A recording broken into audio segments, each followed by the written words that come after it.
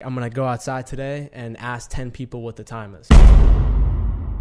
Yeah, so for someone who's actually socially anxious, not someone who's just looking like top 10 tips to network better, yeah. I say number one is uh, you need to deal with the biological hardware of your body in terms of like looking at the brain and the body as a science project and realizing that some deficiencies, some points of, um, of, of toxicity can be real problems that can cause your brain to be inflamed and to kind of look down. So number one, address the hardware of the body, which is go to the gym, your sweat. food, yeah, med- all these yeah. things. Uh, number two, I would say is um, a lot of people don't really necessarily have the social skills that deal with social anxiety, and a big part of that is just researching like body language, understanding that it's not just about the words that you use, it's also about the way that you say them and your vocal tonality and, and the way that your body is positioned and how that makes the other person perceive you.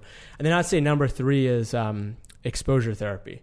I think you need to work your way up. And if you want to tackle a fear, you need to slowly, incrementally introduce it into your life. I remember for me, that was like, literally out here in the streets of Boston, I was like, I'm gonna go outside today and ask ten people what the time is, and I would do that, and then you'd work your way up, and you ask them what directions is, and then eventually you'd be able to like start a conversation. And then you work your way up. You start to go to maybe events by yourself, different situations like that that can definitely push you and kind of show you to who you really are. So those are three tips.